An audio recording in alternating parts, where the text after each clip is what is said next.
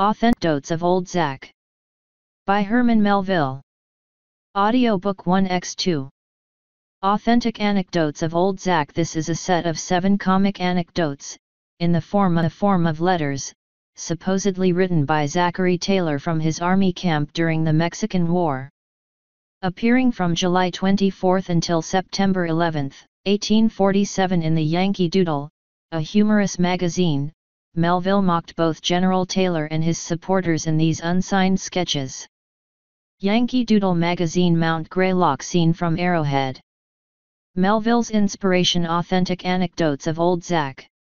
Reported for Yankee Doodle by his special correspondent at the seat of war at the present time when everything connected with the homespun old hero is perused with unusual interest, and unprincipled paragraphists daily perpetrate the most absurd stories wherewith to titillate public curiosity concerning him, Yankee Doodle has thought that a few authentic anecdotes may not be unacceptable to his numerous readers.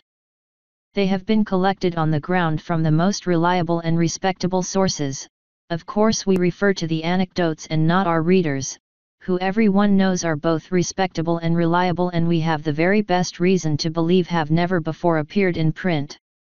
Since we are determined to have all the credit of first circulating these anecdotes, be it here known, that Yankee Doodle, with his customary enterprise and utter recklessness of all expense where the diversion of his readers is concerned, has sent on a correspondent to the seat of war for the express purpose of getting together and transmitting to us all reliable audits connected with Old Zack. And here we cannot refrain from noticing the flattering reception which our esteemed correspondent received from the venerable hero himself.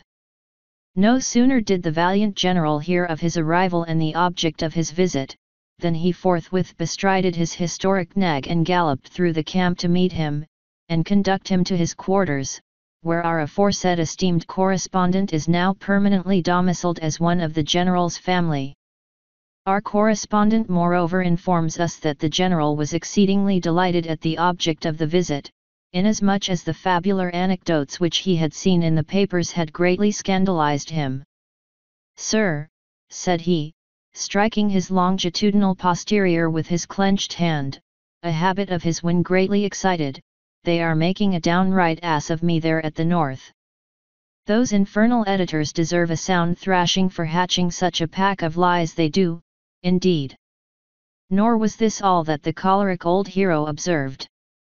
But as we do not desire further to expose a little weakness of his which the papers have occasionally hinted at, and which he has in common with Gen. Jackson and other military heroes.